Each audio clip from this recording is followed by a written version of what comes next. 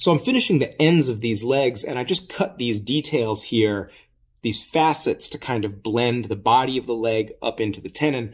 I cut these with a chisel and then I used a file just to rough them in. And they're good, but you can tell there are still tool marks and they aren't as even as they should be. Great tool for this is just a sanding stick. It's exactly what it sounds like. Stick of wood, flat, with a piece of sandpaper glued to it. I use 100 grit. That's good.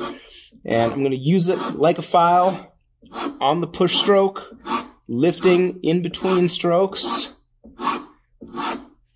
and it's going to give me a nice finish, but also give me the flat, smooth look I would get with a rasp. Sandpaper on a stick really is almost as good as a rasp, and it's a lot cheaper.